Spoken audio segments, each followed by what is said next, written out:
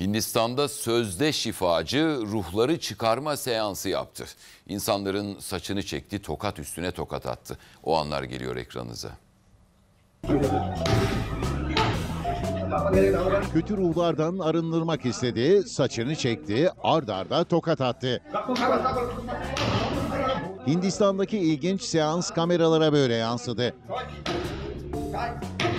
Kendisine kötü ruhların musallat olduğuna inandı, çözümü şifa seansında buldu. Sözde din adamı arınmak isteyen adamın karşısına oturdu. Saçını çekti, tokat üstüne tokat attı. Arada sözde kötü ruhlara da seslendi. Şifa arayan adamı yalnız bırakmalarını istedi.